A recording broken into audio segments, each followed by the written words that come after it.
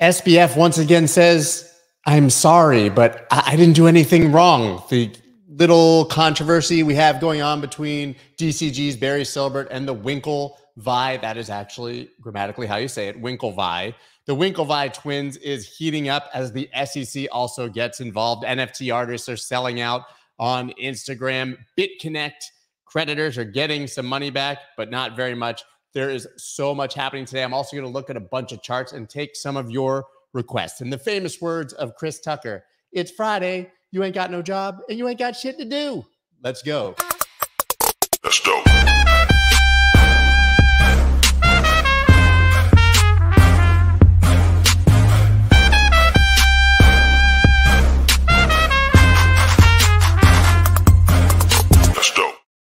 What is up, everybody? I am Scott Melker, also known as the Wolf of All Streets. Before we get started, please subscribe to the channel and fist bump right on that like button. It's Friday. We all know that it's my favorite day of the week. As much as I love interviewing people and talking to people and asking them questions, sometimes it's just nice to be alone, you know? We used to do this almost every day where I would review the news, look at some charts. Yeah, it was a little bit much, but I look forward to Friday when I get to do that again and I can be myself and not have to be all buttoned up and conservative because I'm talking to super impressive and amazing people. Like yesterday, my gosh, did you guys watch Mark Yusko, Bill Barhydt, Lou Kerner? I mean, could I had three more legendary, intelligent, rich, people on the show at the same time. If you guys did not watch that, then I don't know, have fun staying poor. Of course, we are sponsored by Prime XBT. You can sign up for a new trading account using the link just down below and get up to seven thousand dollars. You can trade basically everything there, but that's exactly what you should do there. I like to give you guys the disclaimer every time. Great for trading, not a custodian, not a bank. Custody your own assets, but use Prime XBT. Check them out if you are going to trade because, yeah, yeah, yeah. But anyway, should we dive right into the news of the day? Should we start with him? Should we start with him? SBF, this guy denies stealing FTX funds in a new online post because that's what we do. We're still just posting stuff online in the middle of our League of Legends game. Look at his face. He's licking his lips at the opportunity to convince you that he's not a fraudster and a criminal look, he's, I mean, I feel like he's staring deeply into my soul and that whoever he's looking at, which is not me, probably he wants them real bad. Probably Caroline. Probably Caroline. But he says that the reason they collapsed was that Alameda was bad at hedging. Basically, we traded like crap and they were targeted by Binance, kind of echoing the sentiments of the 3AC guys who've come out of the woodwork, blaming everybody for their problems except for themselves, of course. But nobody's buying this, guys literally everybody knows for a fact that customer deposits were like going straight into Alameda and to like shadow banks and they weren't even making their way to FTX. The money was never there. This is just bullshit. The guy's buying time or he's actually this delusional. Maybe he is. Maybe he really believes he did nothing wrong and believes his own hype and thinks that it's all going to be fine. But my God, let's throw this dude into the slammer and get it done. And if you haven't seen his official apology, here's the uh, video. It's pretty crazy. Hi. Uh, so uh, I'm SBF, uh, founder and CEO of FTX. My accidental theft of our customers' life savings to create a giant overleveraged Ponzi slush fund for myself is a tragedy that should have never happened. And to all those affected, I want to say I am deeply sorry. I'm sorry. I'm sorry. The beanbags. Sorry. Oops. Sorry. I'm sorry. sorry. Sorry. Sorry. I'm deeply sorry. sorry. Oopsie doopsie. Ladies and gentlemen, look at CZ. We got him.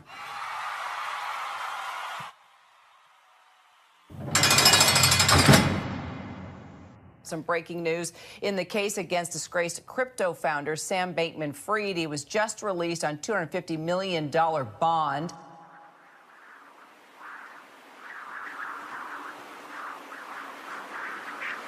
Sorry.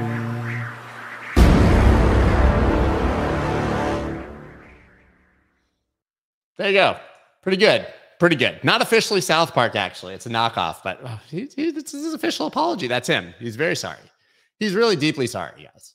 And if you guys missed it, this is where this dumbass who thinks that he's not going to just continually incriminate himself over and over and over again because he's not listening to his lawyers. This is where on his Substack, he decided to vomit all of this and say, It's not my fault, guys if there's one theme I think of 2022 and entering 2023, it's that we have a whole lot of billionaires who want to blame other people and not take accountability for their own mistakes and actions. It's literally all we're seeing from every single person who's been a piece of any collapse, right? All these guys are coming back. All of them are coming back out of the woodwork as SBF fails to blame him, and now he's blaming, and we have a circle of blame. It's a circle of blame. It's a wheel of fortune. Circle of blame. Everybody knows about that. It's the Lion King. It's the Lion King. But yeah, I mean, he just like, I mean, the guy's like still saying that FTX US is solvent. Like everybody knows it's not. Uh, this guy's just out of his mind. FTX former engineering chief Nishad Singh looking for deal from feds. Report. Oh, I bet that SBF is wishing that this guy wouldn't sing. Singh may hold information key to showing how Sam Bankman Fried violated numerous federal campaign finance laws. The crazy thing here is that as of right now, Singh is not in trouble. Guy's not in trouble, right? He they haven't come after him, and he like went out and basically was like, "Oh shit, this is my moment. Tonight is the night. I'm going to sell out SBF." He's going to put his hands up like the ceiling can't hold him, right? So this guy is talking to prosecutors. He's getting himself a little, uh, as they said, let me let me get the quote. Limited quote. Nishad Singh, FTX's former director of engineering and housemate of Sam Bankman Fried, they've touched each other, is said to have met with prosecutors in a proffer session. Such meetings often include an offer of limited immunity to encourage the interviewee to speak freely. Singh has not been accused of wrongdoing. This guy literally is like, well, better get ahead of this shit, do a little proffer session. I bet that SBF would proffer that this guy not sing. You know what I'm saying? But we've seen that Gary Huang Huang Huang, people are saying Wang. I thought it was Wang Chung tonight. And Caroline, they've both had their plea deals. They'll probably go to jail for a while, but SBF should be going away for roughly a thousand years. But literally everybody that was in this dude's inner circle is just selling him out, right? Just like holler at these dudes. Maybe that maybe I'm gonna get in trouble. I don't know. I better get ahead of it. But I mean, everybody is selling this guy out. Sing, sing. He's singing. But there's good news. FTX has recovered over 5 billion in assets. Bankruptcy attorney says this is huge. And I'm so happy for anybody who has money on FTX because this is starting to look better than even the Celsiuses and such of the world if this is all actually true. Presumably before we thought that they had about 1 billion in assets that they had recovered. Well, finding 5 billion more, we don't even know the size of the hole during their bankruptcy proceeding, they checked the little box that said between one and 10 billion, which seems like an absurdly large range if you're, I don't know, going to go into bankruptcy. Maybe it was one, maybe it was 10. I don't know. It's fine. Same. It's the same. But yeah, man, they're digging up all these assets all over the place, billion of cash, liquid cryptocurrency, and liquid investment securities that they found so they're basically just scanning through wallets and stuff. This doesn't even include the real estate and all the things. It's starting to look a little better for crypto uh, for uh, for for all the people who are owed money by FTX. Interestingly, it says here this does not ascribe any value to holdings of dozens of illiquid cryptocurrency tokens where our holdings are so large relative to the total supply that our positions cannot be sold without substantially affecting the market for the token right? So that's interesting because there's a lot more here even than the 5 billion. They're counting those as zeros, but eventually there could be moments when they can liquidate some of that and get some of it out. So there's a whole lot of illiquid tokens on the balance sheet. But this makes me happy, man. I think that there's a real chance now. And BitBoy said this to me on a spaces recently. I was like, man, I think that uh, FTX creditors are the most screwed. And he said, Well, I've been doing my research. I went down to the Bahamas. I hollered at the people who talked to the friend who had lunch with the guy, my sister, baby, cousin, Tracy, called up. And we think that the assets are not lost, they're just hidden and that they're going to find them and FTX creditors will be in decent shape. And that looks to be what is playing out at the moment. I like that. I like that. Yeah, in Mandarin and Cantonese, it's pronounced pronounced wrong. Wong. I guess that I did, in fact, pronounce it wrong. Damn, I'm on fire. FTX creditor claims going for 13 cents on the dollar on bankruptcy marketplace X claims. So that's crazy. So we see this news at the same time, you know, the 5 billion, but also now you can go sell your claim for 13 cents on the dollar, which seems low if they really did find 5 billion in assets, but what do I know? I told you guys a story uh the day that FTX went under a guy reached out to me, and he's in this article, Thomas Braziel. Actually, Charlie Shrem reached out to me, but he introduced me to this guy. He said, This guy's buying Voyager claims. Bitcoin was like 22,000 before it crashed down for 60, 65 cents on the dollar. You know, that's that's what's going on out here. And I was like, that shit's interesting to me. You know, like the best case scenario was like 72% if Bitcoin continued to go up and could get lower, which obviously it is. And we started talking, and FTX collapsed literally like two hours later, and all of that went out the window. But plenty of people are looking to sell their claims, but 13 cents seems really low. But interestingly, Thomas at the bottom, a managing partner at distressed corporate specialist 507 Capital, told Coindesk at the time that these prices weren't realistic and three to five cents would be where the market has an interest. Keep in mind, this same guy was they were buying Voyager claims for 60, 65 cents on the dollar. However, as the case slowly progresses forward, it seems like the market has developed a bit more optimism. I wouldn't sell it for 13 cents. I don't know. I don't know. But uh, the market is not saying the same thing as we found $5 billion, but that could still mean there's a five, six, seven billion dollar hole. Are you guys tired of talking about F- SBF? Do you want to talk about some more billionaires who are uh, are triggering us on a daily basis because crypto lender Genesis owes creditors over $3 billion. Digital Currency Group, Genesis parent company, is reportedly looking to sell some of its venture capital portfolio worth around $500 million. When I owe $3 billion, I look to sell a little piece of something that's only worth $500 million, you know, to close the gap by like 10%. What are we doing here? What are we doing here?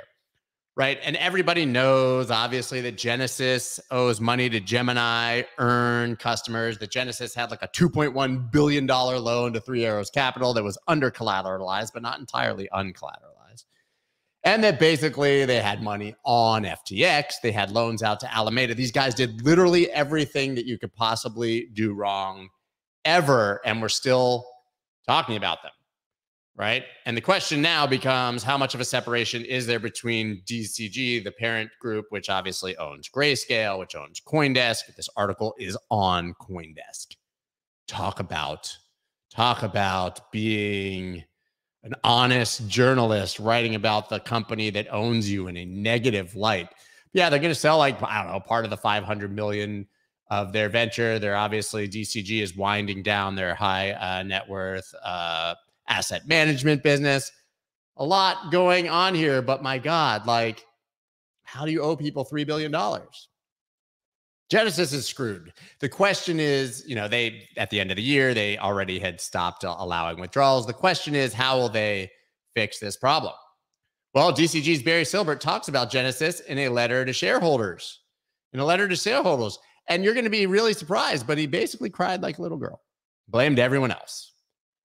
I'm a billionaire. I own multi billion dollar companies, but it's not my fault. I'm not responsible. It's not me. I've been reflecting quite a bit about the past year, the state of the industry, and where things go from here. Here's an update to address those reflections. He wrote this long ass thing, right? But here he goes. He said, This past year has been the most difficult of my life. both personally and professionally. Bad actors and repeated blowups have wreaked havoc on our industry with ripple effects extending far and wide. Maybe you're one of them. I'm not saying you're one of them, but maybe there's a chance that you're one of them. How many people can blame each other for the same problems? It's really unbelievable. But we cut jobs and we're wound down our asset manager and whatever. I have no idea how much contagion there is. I can just tell you that we don't want this to leak into grayscale. I don't think it will. I can tell you that Valkyrie, of which you guys know I'm an investor, is very aggressively looking to basically take over management of GBTC. And they have much better structured trusts and are actually, I don't know, smart people. But I don't think that we're going to have a problem uh, with grayscale. But that's where like you would have a mass liquidation event of Bitcoin that could actually rock the price. The rest of this to me is baked in. I see Fibo Swanee is here saying, Good morning, bro. Dude, what happened to your Twitter account? You got hacked seemingly, but it's been like weeks and clearly you have not gotten it back. And every time I go to check, I do. I go to check to see if you're back and it's someone like trying to sell me an NFT scam.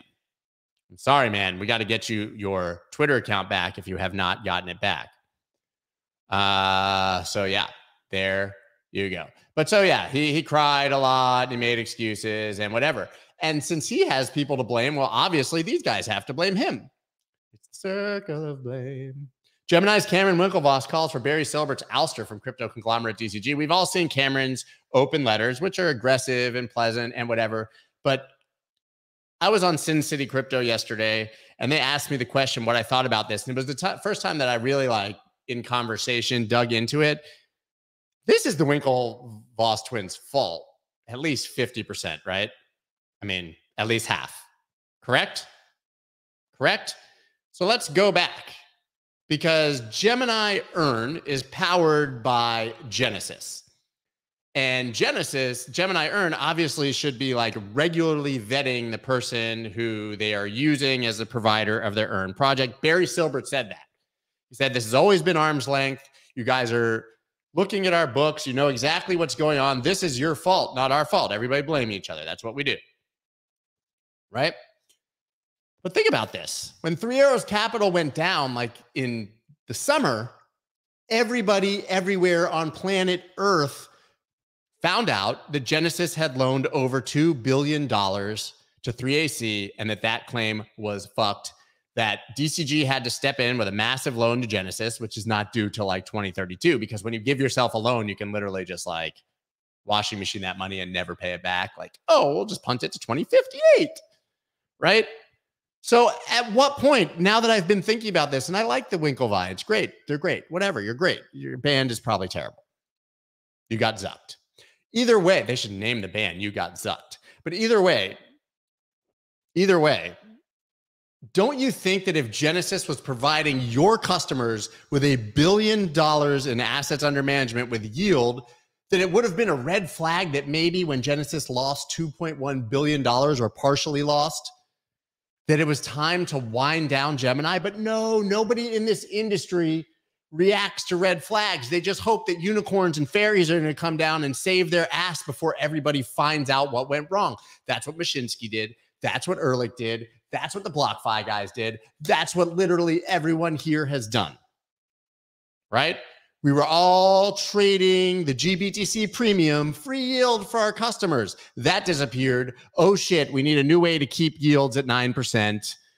We better start doing the cash and carry trade. Oh, it's amazing. It's guaranteed free money. Oh, that's been arbitraged away. Now, how the hell are we going to do it? We're going to go into DeFi and we're going to park our assets on Anchor and we're going to buy UST and we're going to give people billions of dollars in uncollateralized loans because I would hate to be embarrassed if I had to lower my yields. It was a real problem because these companies scaled on trades that no rational person thought could last forever, just assuming that maybe the next day they'd find a new trade and a new way to do it. And when you have millions of customers who are only there for the yield, and all of a sudden you tell them, oh, the yield's gone, they're going to leave and your business is going to go under.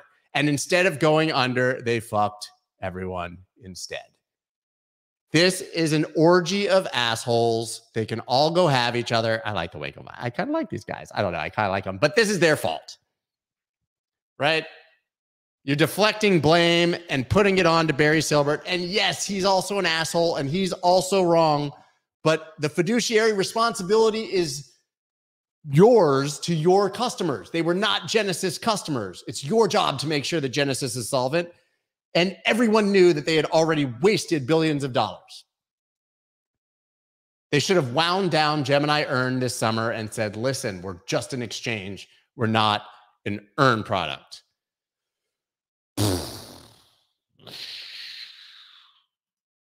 Gemini, same picture. Coindesk not getting too creative. Gemini terminates its crypto yield product. Amping up battle with Genesis. Oh, is it called terminating when you're literally insolvent? They terminate, guys. Now that there's no money there and there's no chance of getting it back, and all their customers have lost anything, guys, we've made the hard decision to terminate this product. Wasn't it like terminated on their behalf? My God. So, yeah, the move, which Gemini says requires Genesis to return all locked up assets, sunsets the exchange's nearly two year old Gemini Earn product. So, guys, they're shutting down the already dead thing. Thanks, guys. Thanks. That's nice of you. Well, I'll tell you who's had enough of this shit. It's GG Gary Gensler. He's entered the chat. These guys are arguing on Twitter, and the SEC is like, well, all of you sold unregistered securities. Seems like maybe they did, and has charged both companies this is big news. SEC charging both companies. And it's big news because fuck you, Gary Gensler. You know why? This helps literally nobody anywhere with anything, which has become the mandate of the SEC. If these were unregistered securities and there was a problem, maybe you should have pointed that out, allowed them to wind down, and saved all the customers from losing all their money. But instead, we're going to punish a bunch of people after the money's already gone, which will recoup nothing for anyone, just so that we can show that we got the big regulatory muscles and we're flexing in crypto bad. It's complete crap. It's complete crap. You regulate to protect people. You don't punish people after everybody has already not been protected. It is absolutely, absolutely insane. Absolutely insane. And what was uh, Cameron Winklevoss's response to this? Super lame, manufactured parking ticket. So yeah, they'll get a slap on the wrist, much like BlockFi did, and everything will move on. And Gary will get his little PR moments, like he made a video about Kim Kardashian. Kim Kardashian sold Ethereum Max. Let me explain to you what a security is. Kim Kardashian. Did you guys hear the name Kim Kardashian? We got Kim Kardashian. Here's what he said. We allege that Genesis and Gemini offered unregistered securities to the public, bypassing disclosure requirements designed to protect investors. Bitch, you're designed to protect investors. We at SEC Gov charge Genesis Gemini for the unregistered offer and sale of crypto asset securities through Gemini Earn. Crypto intermediaries need to comply with our securities laws. This protects investors, promotes trust in markets, not optional. It's the law. Thanks for help. Thanks for your help. Thanks for your help. Very helpful. I find it very helpful. Do you find it very helpful? Irrational says Gary is a regular laxative. I like that. That's funny. Anywho, the moral of the story today, I want to just tell you, is a bunch of people deflecting blame to other people, and they're all to blame collectively, and they they screwed us all. Is what it is is what it is. I didn't see if Fibbo Swanee over here told us what happened to his uh, Twitter account, but seems bad. It was bad. You guys go there. Or he says, 11 days it took Twitter support to get to me. Four online support tickets for me and over 50 reports from others saying I was compromised. I'm finally back. Thanks all for the help. Nice. Nice. Because yesterday you were not back, my friend. This is from yesterday. Ethereum, Ether, Ether, Nas hits two month high ahead of US CPI market breadth remains weak. Market doesn't feel like it's breathing breath breath is so weak. Shit's been good. Stop being a hater. Stop being a hater. Right. But yeah, guys, we saw that Ethereum made it over 1400, 1.4K all day. As I would said, doing some breaking out. There's some other coins are doing it, but the other thing is boring. Let's take a look at the ETH chart. I mean, that's pretty damn good, guys. Look at this move. One, two, three, four, five green, maybe six in a row with a couple little candles. Some charts, it was nine days in a row of green, depending on where you looked. But most notably, look at Ethereum smashing the 50 MA on the daily, now smashing through the 200 MA on increased volume. If you were trading from 1221, your target was 1392, right? I had Big Cheds on and he said, man, if we really flip 14 convincingly, I would think about getting long. I'm assuming he's short right now, though. So he told me 1430, I think, like right here, maybe this low. But this holds a 200 MA, we're looking at a target of up here in the 1700s. Ethereum looking really, really good still here, but I'm going to go ahead and go out on a limb. Look, I've got a template now with MA and RSI and say this is massively overbought. Up to 77 on the daily overbought. That's not as overbought as Bitcoin was actually. And no hint yet of bearish divergence. What I'm going to assume is that we're going to make another push up, get a bear div, and then get the retracement that everyone's looking for. But assume nothing makes an ass out of both you and me. Move on. We're going to get more charts later. Amazon Web Services taps Avalanche to help bring blockchain technology to enterprises and governments. Wow, dude. Emin Gün Sirer right there looking just pumped. Avalanche is the first blockchain to form a partnership with Amazon's cloud computing platform. I mean, dude, AWS runs everything. And AWS does support Ethereum and others, but this is actually going to actively help people operate uh, to to run Avalanche nodes. What else are they doing here? We got a whole whole whole list of uh, things they're going to do. Avalanche also plans to add subnet deployment, a network within a network to the AWS marketplace, enabling both individuals and institutions to easily launch custom subnets. This is the this is the whole pitch of Avalanche, right? They're a layer one, but they are their whole business model initially when they created it was to be an enterprise blockchain where you could form a private blockchain on Avalanche using their technology, but it would be closed off and walled off. And obviously, working with AWS makes that a hell of a lot easier. A hell of a lot easier. This is just huge news. Huge news. This is what Emin said. It has been a huge boon for both individual and enterprise developers to be able to spin up nodes and test networks on the fly with AWS in whatever legal jurisdiction makes the most sense for them. Pretty big, pretty big. I haven't even, to, to be honest, I haven't even looked to uh, see what's going on with the coin. I'm going to open up a chart right now. I'm assuming that it should have pumped on this news. I haven't even checked. I'm not going to lie. Let's see, is that showing up? There we go. Oh, well, I had the chart. Well, my alarm should have gone off. There's an alarm right there. You see that? But yeah, this looks like what Bitcoin's doing. One, two, three touches, breakout on extremely high volume, high volume retest. I mean, if I was going to trade, I'm not trading anything right now, but if I was going to do it, I would look for a retest of that or that before targeting, I don't know, $22, something like that. So there's a big move to be made here if you catch the retest, but you certainly didn't want to buy the breakout comes back down. But that's nice volume on a clean breakout, looking pretty good. Maybe you would call this a target, like 20 bucks. But if you can catch a retest of that, I'm going to go ahead and also assume that this one is overbought because everything I've looked at is overbought. Yeah, massively overbought. Got up to about 80. But yeah, man, AVAX looking pretty good. And you fundamentally have to, like, I don't know, a deal with fucking Amazon, dude. These guys got Bezos, Bezos, Bezos. Hey guys, in uh, other news, Coinbase could be one of crypto's long term survivors, which literally everybody knows. Right? Uh, this guy had the Oppenheimer senior analyst, though, rolls in. He's like, well, shit, everything else is going under. Coinbase might as well win. But I agree.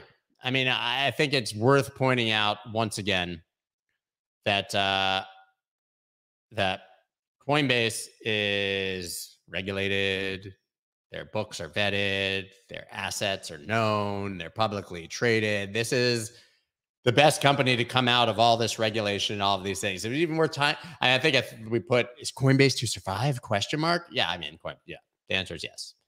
Coinbase probably going to survive. Cloud Casino says Avalanche is another unregistered security. So now we have another centralized security ran off Amazon servers that can censor you or ban you. Great. Great. I I can refute that. And I did this also on City Crypto yesterday. What I had to say was there's Bitcoin and there's everything else. And don't judge them by the same standard because that would be the same as judging gold and Amazon by the same standard. You can be a gold bug and still think Amazon's a cool company and worthwhile to invest in and complete them and, and, and keep them completely separate. And that's how I view it. Bitcoin is a generational investment it's hard money. And the rest of this is VC speculative tech investments. And that's fine. And guess what? Almost everything that we think is decentralized in crypto is not because dun dun dun, it's still running on AWS. we still depend on centralized servers from huge companies to run our DeFi and decentralized platforms. So listen, I don't I think your point is perfectly well made and fair, but I don't know, just don't buy it. Also, huge difference. You're talking about Avalanche, the coin. I'm talking about the tech and the blockchain and adoption, which has nothing to do with the coin itself. So that's one of the problems that we have is that the coins mm, don't necessarily need them. And we can see the company be successful without the coin being successful. Yeah, Coinbase is regulated and has their financials regularly vetted, says Sean. Hmm, sounds like a real business. Yeah, it's an actual company. Crazy, I know. Flats Mac agrees. Yep, Bitcoin and crypto are two different things completely. And if you start to look at them through this different lens, you don't need to be like an aggressive and angry maxi because you can just be dismissive of it. There's a lot of companies that are publicly traded that I think are really stupid and bad. But that doesn't mean that I don't think people should be able to invest in them in a free market or do whatever they want. Free market, except for all cryptos not named Bitcoin. So dumb. Sorry. It's dumb. It's dumb. Top NFT artists are launching projects on Instagram and selling out in seconds. Hmm, I, I didn't say that they were sellouts. You said that they were sellouts. Platform has facilitated successful NFT drops from artists including Michael Johnson. That's my dog. Drifter Shoots and Refik Anadol, bridging the gap between Web 2 platforms and Web 3 technology. This is cool because we obviously saw that Meta, Facebook, Instagram are interested in allowing people to connect their NFTs, but now you can sell them directly and do a drop for selected artists. It will be tested out. And they're selling out very quickly because Instagram is huge. This is actual adoption, guys. This is actual adoption. This is actual adoption. Crazy, I know, but it's all happening. It's all happening. And it's interesting because this is a nice bridge between Web 2 and Web 3, which is what we all want in the end. Anyways, and holy shit, check out this news, dude. Remember BitConnect? I remember. You didn't lose your money. Well, uh, all right, you lost your money. Victims of the $2.4 billion fraud, 2.4 billion uh, to recoup $17 million. Like not each. I think like total. Total. Crazy. This is one of the biggest scams ever, and there's just nothing left. Restitution of 17 million to 800 victims from over 400 countries. What blows my mind is that 800 victims were able to put together 2.4 billion dollars. Francine says, Are people using NFTs? Drusified says, I'm using an NFT. Cool conversation, guys. Uh, yes, I, I do think that people are using NFTs. Uh, Starbucks has a full ass reward program. They're just not calling them NFTs, which is the best possible thing. We need people to stop calling them NFTs and we need people to stop calling it crypto. They just need to become rewards program, right? I think at Starbucks is calling them stamps or rewards or something, but just because it's based on crypto technology doesn't mean we need to call it a non fungible token, which is the most boring thing and hardest thing to explain to anyone who doesn't know what the word fungible means. And let's be honest, none of you knew what the word fungible means until you heard about NFTs and looked it up on ChatGPT. Right? Being honest. But yes, we are seeing real adoption of NFTs. That doesn't, I, I can't tell you the numbers of how many people are actually using that Starbucks reward program, but Starbucks is really big and important company and they're actually adopting this technology. So, yes, people are using it. Uh, crypto assets. I don't even like crypto. Yeah, I like crypto assets. Correct, Mark. There were people who argued digital assets, and I was like, that includes like MP3s, right? So, crypto assets, I think, is probably the best. I'm not unhinged, dude. I'm just me. You guys remember this is how I used to just roll all the time. Anyways, let's take a look at the Bitcoin chart, shall we? Hmm. 19K all day. 19K all day. What I'd like to point out is this is the weekly MACD. I've showed you it before, but the weekly MACD crossed bullish in August. And the histogram, that's you see these little lines right here, that's called a histogram. Histogram. It's on the top. You see, there's a line right here. And when it's on the bottom, it's bad. When it's on the top, it's good. But you'll notice that MACD crossed bullish and has been pushing up even through all of this negative price action and news, which gives you basically bullish divergence between MACD and price, obviously. This is on the weekly, though. This is a huge signal. And I said when it happened in August, this will probably take a lot of time. By the way, prices were still down below where they are now. Take a lot of time, but this is a huge signal. And imagine if MACD goes all the way up there, beach. Interestingly, there's a death cross right here between the 50 and 200 EMAs, but who uses EMAs anymore? It's an exponential moving average. Everybody seems to use MAs again or simple MAs, which is the average of the previous if it's the 50 MA, the previous 50 candles. So if it's the four hour, it's 50 four hour candles. If it's daily, it's 50 daily. And an EMA is an exponential moving average, which more heavily weights in the formula more recent price action. So you get a different view of it. But as I've said, these death crosses, especially on like a weekly chart, it's a lagging indicator. It's because of what happened here and not what's happening here. And if this continues to turn up, we're going to see these turn up massively. Let's Take a look at the daily chart. I mean, shit, y'all, dog. You saw how Ethereum had already hit the 200 MA and flipped it. That would take Bitcoin up to 19,500 to make the same move. But we saw it flipping the 50 MA here, and it's been nothing but bull since. Got back above 17,592, which has been a key level for me. That was the low from back in June. That was broken and very temporarily got above, but the 50 MA was rejection got back above 18,157, which was the lows of sort of all of this price action, and now breaking out of the descending resistance. That should be the signal that we're headed back up. I mean, this should target at least these highs here 21,475, something like that. But I will tell you that this is probably massively overbought. I had looked at it. And by the way, real volume, the biggest volume really since the FTX debacle. Oh, and look at this the dick and balls pattern from the Bollinger Bands has uh, exploded to the upside. You guys want to see it that way. It's your up and to the right is my up and to the left. Way out over our skis on the daily Bollinger Bands here, right? Should eventually see a retrace back to test it. But when you get this high above the bands, usually you kind of come back in and just keep pushing. Things are looking pretty good, man. Really good. Really good. Let me go see if I can find the uh, line chart, which has RSI. Yeah, I mean, I'm going to look at this, bring it over in a second. Bring it over. I've got it in the holding pen. Ready for you. Where'd it go? Look at this. I mean, yeah, daily RSI still rising. And listen, there's a lot of people who think when you get overbought, that's the power power zone. 82.64. I mean, this should retrace, right? I mean, maybe we'll get a bearish divergence, a retrace, and that could be some sideways form a bull flag, something like that. Things are looking pretty good. Could it be a bull trap? Oh my God, absolutely. Are you guys kidding me? Of course it could be. Fiboswani, the DNB pattern, LOL. I mean, you can't tell me that you don't look at every Bollinger Band when they tighten and think that. I mean, look at this one. I'm not trying to be inappropriate. This is, you know, you learn about this in high school science, but I mean, what what is that? You know, this one's big.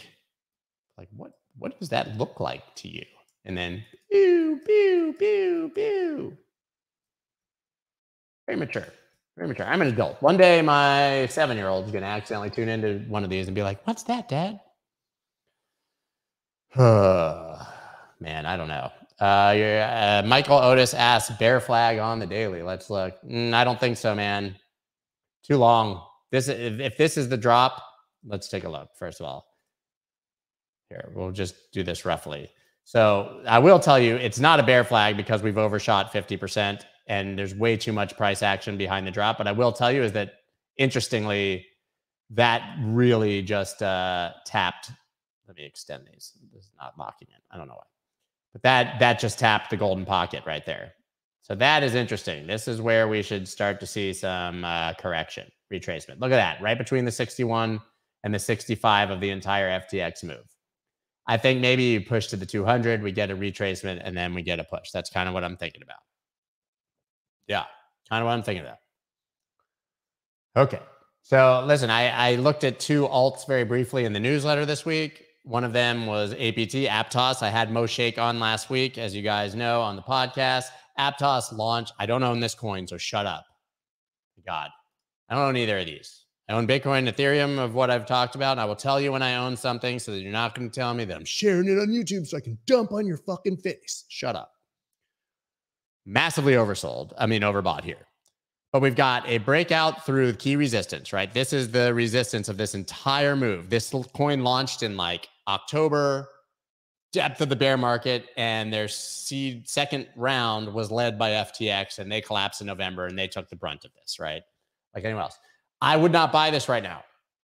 But the way I would trade this is a drop back to 543 to retest it as support and then be just looking for a move up to like 823.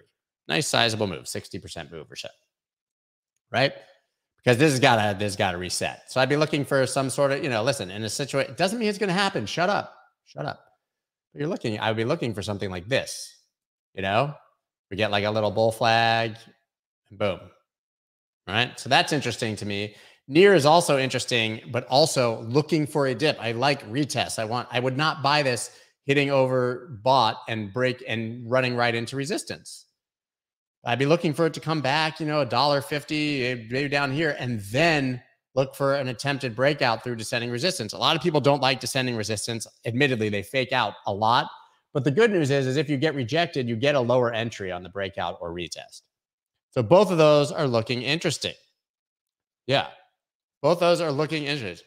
Yeah, bro, pump those bonk bags. I didn't even know what bonk was. And I was like, up 34,000%. Let me go buy some. No, I didn't. That's dumb. You know what I'm going to do now, guys? I got a little time. Got nothing else queued up. I can't guarantee I'll get to them, but hit me with some requests. Let's go. What charts do you guys want to see? What charts do you want to see? What do you want to see? I'm going to go tweet right now, hitting the chart request right now. I'm to do it. I'm tweeting it right now, live on camera. What do you guys got? Fantom. I see Fantom in there. Let's see what we got. All my layouts. Um, boom. I don't know. And by the way, it's not like I've checked these. So they're, you know, we used to do this on Chartapalooza. I would bring up all my old ideas and be like, if they look bad, sorry, bro. Yeah, I mean, yeah. Yeah. Let's extend this. So this is pretty much your range, right? Although honestly, if you're being intellectually honest, it would be at the bottom here, and this would all be deviation. You don't really have a range. So let's just kill that if we're doing the descending thing, you had the collapse in May. So we're looking at some sort of situation like this, right? Oh, man, everything's breaking out. Everything's breaking out. You know what I'm saying? But you got to be careful here. So there's another one where like now it's broken out. So an aggressive trader buys this breakout, right? A more conservative trader looks for a retest because it's less of a fake out. Like this daily candle, we've seen it a million times, could close back below resistance and drop. There are people who want to buy breakouts and do that. Your upside right now is like 3150. I'm to also let's uh, go ahead and bring up this template. Well, you're above the 50 MA, which is now curling up. You're above the 200 MA, which is starting. You're going to probably get a golden cross, but massively overbought. My problem here is that RSI is massively overbought on everything. The upside is limited before a pullback. Listen, every bull market, and I'm not saying we're in one, you have to start somewhere, and that always ends up with overbought, retrace, overbought. That's why markets go like this. Right? Yeah, I mean, FTM looking kind of good, especially if you can get some sort of retest and push, but back above 3150. If you get above that, you're starting to talk about a move to like 55 cents, something like that, looking really good. Uh, what else do we got here? I think Fibbo Swanee said gold. Does I see gold? I'll look at gold, bro. I'm sure I've got a gold chart up here somewhere. Gold. Boom. This deviation, man. Yeah, the range that it's been in for uh, since 2020. When it flipped, and we I talked about this, but when it flipped that, that was your signal flipped right back into the range. And we have other things that I've seen. Coinbase, not to get all like, uh, let me see. Coinbase, similar. That's not what I wanted. Coinbase, I was looking at this morning. I put it in the newsletter.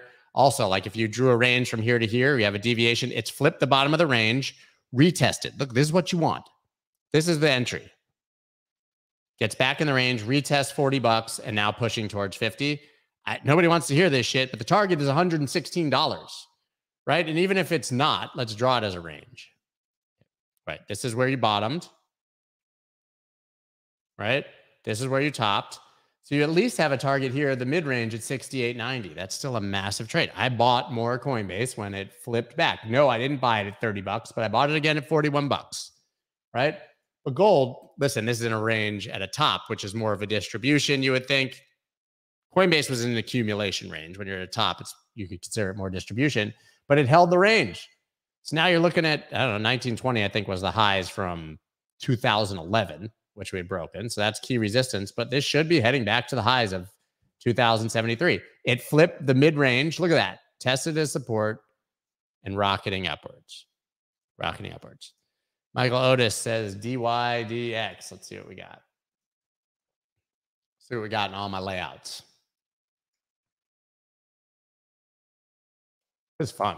Remember when we used to do this? Remember when this was a thing? God, where is it? Where is even the price, dude? Is it up? Is it down? Is DYDX no longer on Binance? Like my chart. Oh, oh wow. Wow. Wow. That means last time we were looking at this, it was uh, up there. The RSI is particularly relevant at the moment. Let's just look at price action. Right, this is an accumulation range, right? Let's delete some things. Look at look at that breakdown up there. That was it. Broke that range. Woo. Okay. This is an acute. This is accumulation. Wyckoff, bro. Right? You bottomed here.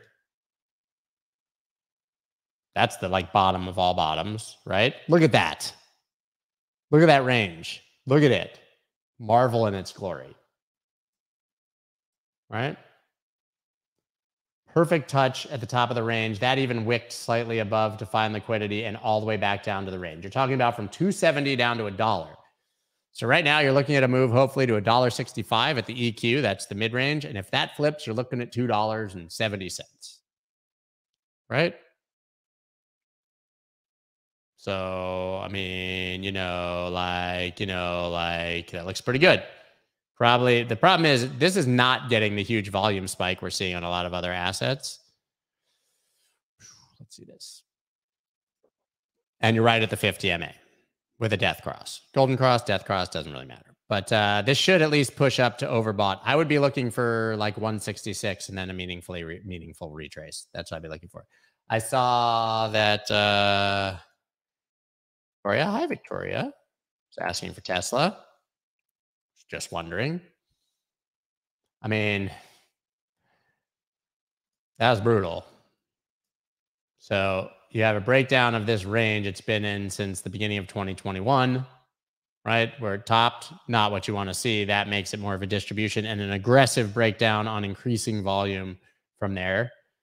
So listen, this could have bottomed because this, it could, right? This is a major bottoming candle right here. These are weekly candles, by the way. This is a bottoming candle. Let's blow that up. And right into an area of interest, right? If you were just uh, just flippantly drawing lines, you know, you got kind of this right here. We also got this down here, right? So the problem is, depends on where you draw the line. It's kind of a zone. You are definitely still. So maybe you get a reversal. This is not. You want to see a real bullish candle though to close today. You want to see this like fill in the body to to further up because your problem here is that you have all this price action, right? And so you draw that. Oh, that was bad. But you draw that across, and you've obviously got like an area of resistance here that we're trading into, right? So maybe this is just doing one of these. If it does, if it does do that, hmm, which I would be more, I mean, the bias would be there. You know, you're starting to talk about 60 bucks, 90 bucks. I mean, listen, I don't know what's going to happen here. People are not happy with him. Tesla's had a bit of bad news. This candle's turning red right now, blue in my case. Nice little doji. A lot of indecision. Hard to hard to really make a make a call on that. Hard. Jordan wants XRP. Take a look. Right, XRP myself. I'm going on Kitco today at 11. I don't know if it's live. Actually, I think it's recorded. Last time I went on Kitco, I didn't know what they were. To interview me with David Lin. like they've got their proper studio and stuff. And apparently, it's like a heavy like metals audience, like gold maximalists. I had no idea. They brought me in and started talking about uh, Bitcoin, and I said on there that gold was dead. Nobody cared about it anymore. Bitcoin was new gold, and it was like their most watched video of ever, but only because every comment was this guy's literally mentally handicapped. Fuck this guy. Look at his stupid face. I hate him. Bitcoin people are dumb.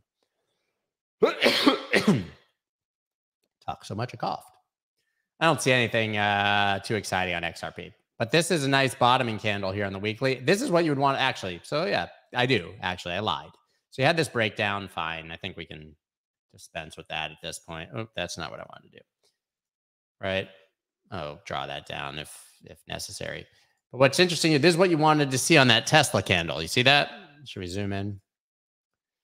When you see a bottoming candle like we saw, you want to see bullish follow through. So this should be heading to at least 41 cents. If it flips that, we're talking about 54 cents.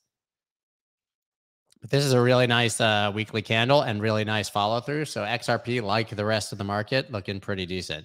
Oh my God, I, you guys have a lot of things going on here. I see Chili's. Chili's.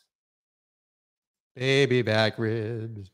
Chili's baby back ribs. Barbecue sauce. It was higher. Chili's baby back ribs. Chili's baby back ribs. Barbecue sauce. That's how it kind of was up there. Uh, this is what I drew last time, and that's, I mean, it's kind of long for a bull flag, but it does have the vibe of the world's largest bull flag that started in 2021. It's a weekly chart, though. Let's take a look at the daily. Hmm, look at that. See, like, you can tell. I was never an MA guy, right? And I don't even, let's just get rid of all these lines. coming from. We can always redraw them. No big deal. Actually, I like that one.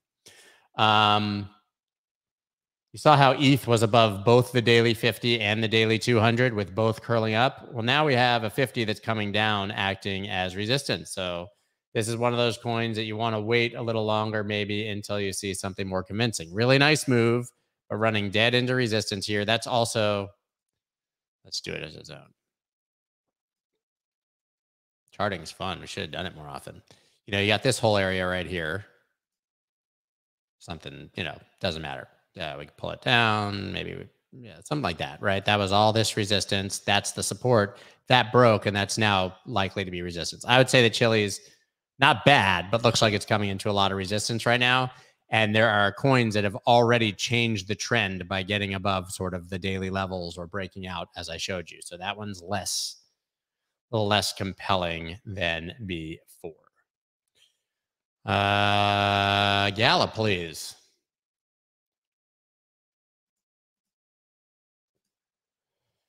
yeah, I got in trouble on Kitco. I'm surprised they invited me back. It's been like a year, but let's go. You know I'm saying Gala. No, see, look, uh, we're going to look at them all sort of in the same context here, maybe. Let's see. See, you see the difference between this and Chiliz? Of course, we're now massively oversold. This one's going to have bearish divergence. I would wait for a retest down lower. I would not buy this here. Look, it wicked right through kind of resistance. We can call it there even. I like that better. Right. And massively overbought. And it would take a lot for RSI to get back above this little peak right here. Let's sorry, I forget to zoom in because I'm looking at this on a huge screen. RSI made a high. It looks like it might make a lower high. Listen, that's not confirmed. It could continue up, but you're at resistance with overbought RSI. I would look for this to like flag and come back down here and get some sort of retest. Maybe even the 50 MA, you never got it retested, curls up, get a retest. Hard to buy this, but if you start closing convincingly above these levels, it starts to look a lot more interesting. Jasmy, por favor. I don't know. Do I even have a Jasmy chart? I feel like I have every chart because we used to do Chartapalooza, so but I don't. All right, let's let's do a new chart.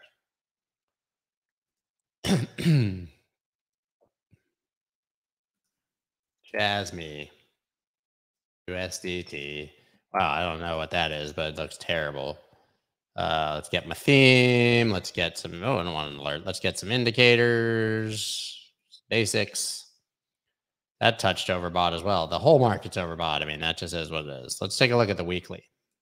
Look, it's literally never even gotten below oversold since it was invented. I mean, I don't know. You could draw a line a lot of ways on this.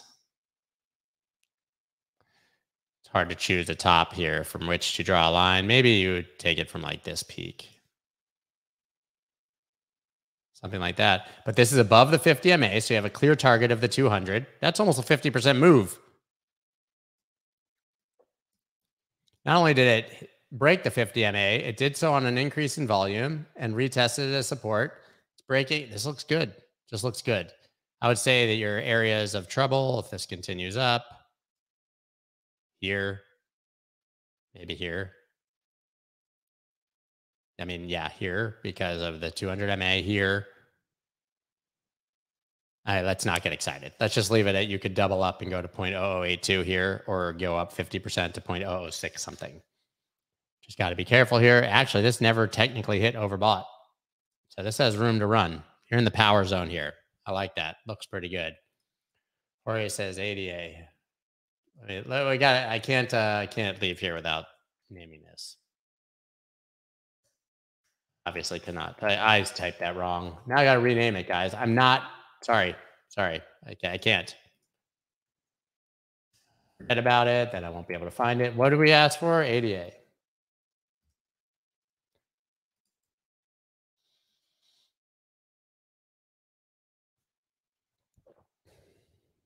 pretty good. Back above the 50, but look at that. You had massive bullish divergence. You could have bought this on the bull div at 24 cents, and now you got a high of 34.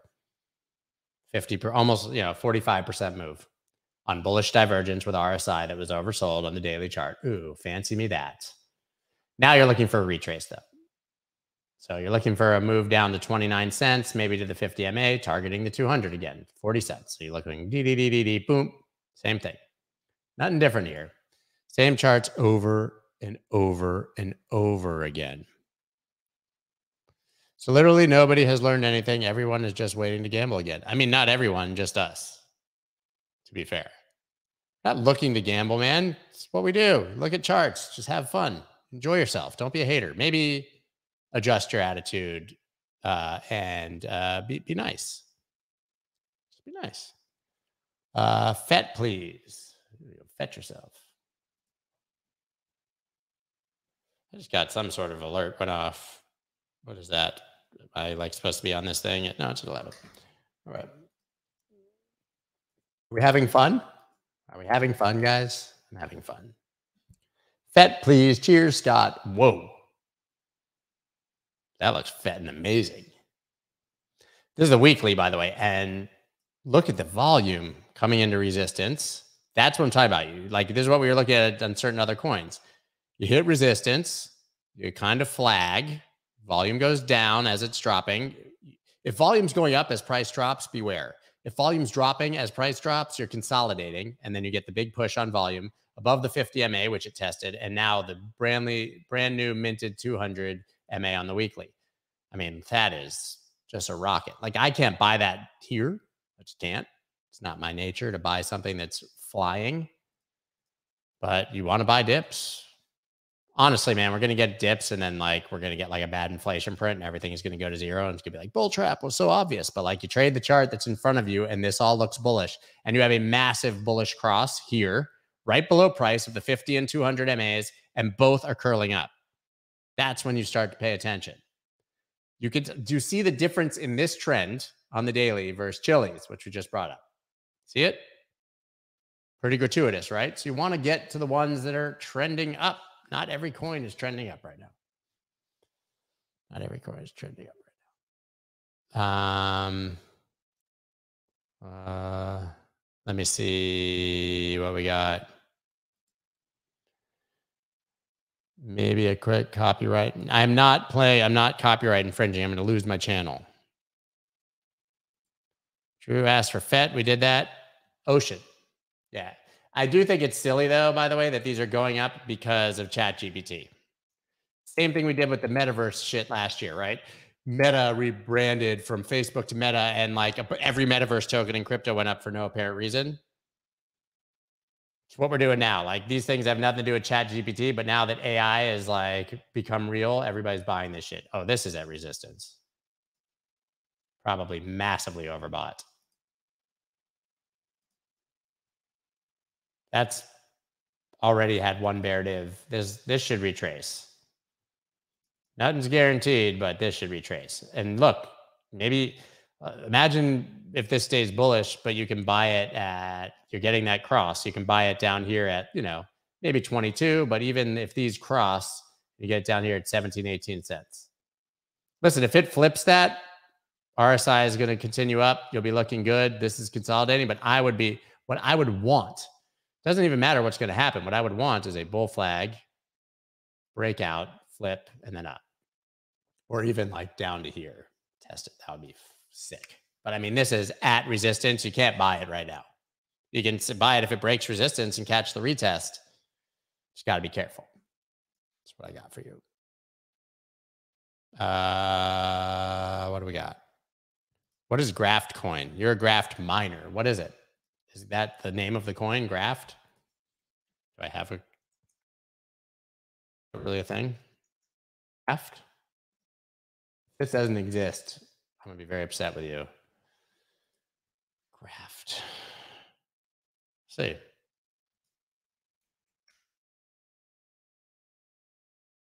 Oh, does it have a name?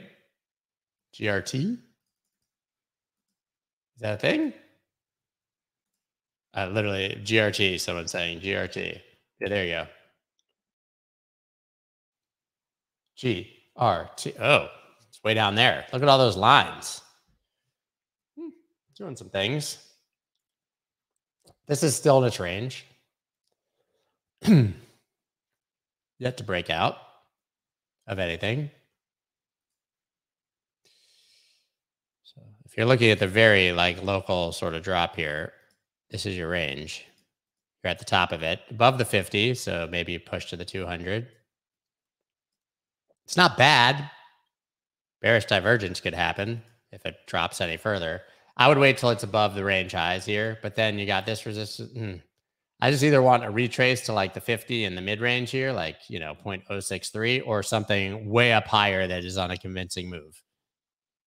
Not bad, though. Not bad. Sold. I know you got sold.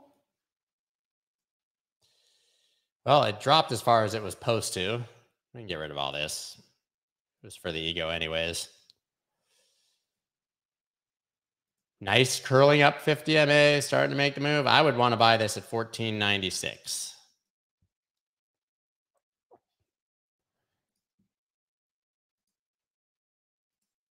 Already overbought, not as much as some other things, and no no hint of bearish divergence yet. I would say that you're targeting 2791 at the 200 MA, which is also the lows here. 26. We even call it this one.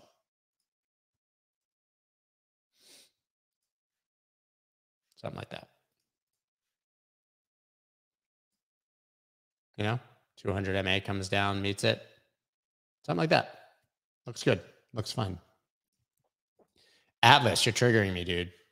I haven't looked at Star Atlas in so long. I have a very largely bag that's down uh, 99.9%. Hodl. Look at it. Holy God. What a chart. 0.001. I remember being like, it's 0.01. What a disaster. Still think Star Atlas is awesome, but look how oversold 15. Holy shite. Let's get MAs on here. It's going to be below everything. This one looks just. Oh, wait. That's a FTX chart. Is it still even trading on there? Give me a break. Come on. Let's see if we can find their chart of this. Still FTX, right? Let's see. Uh, let's see if I can find a new chart of this.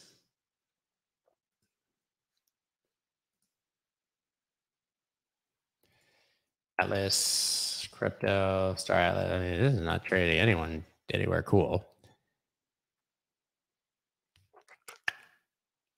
Gate.io? I don't know, whatever. Doesn't matter. Good, at least we can do it.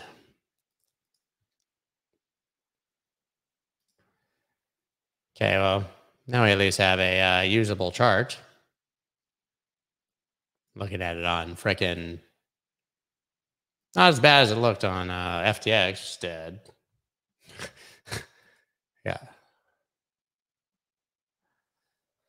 I, I mean, I'm not selling it. I think we're at least targeting the, the 200 MA here, but man, I mean, what a wrecked chart. It's never like, I mean, it's done nothing but go down. I don't know, man. Maybe you get above like 0.003, you know, this kind of range right here. Even these highs, 0.004, you start thinking about it. Don't know, 0.039 is what that is. I don't know. We need like another metaverse pump for this to happen. But I think it's at least going to the 200 MA here. Could be worse. But I mean, this is still downtrending, right? Hmm, to get excited. Dot. I'm going to have to get out of here after this one, guys, because I have that thing with the place and the stuff.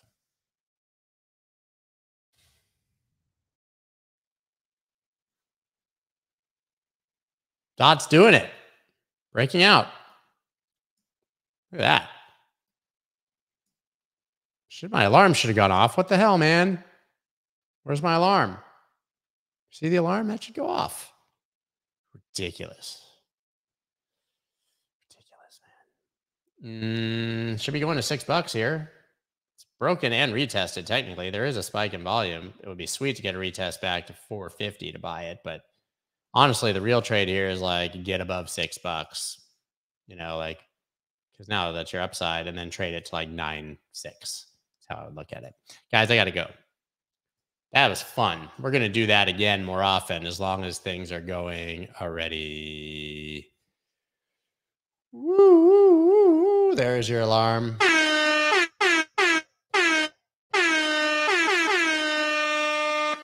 Those buttons don't trigger as well. Prime XBT. Click on it. Make me look good. Just click on the thing. Anyways, guys, that's all I got for you today. I will, of course, be back on Monday because it's what we do. And it's going to be awesome. This was fun. Crazy news. Fun charts. Good times. Love you guys. Have a wonderful weekend. See you soon. Peace. That's dope.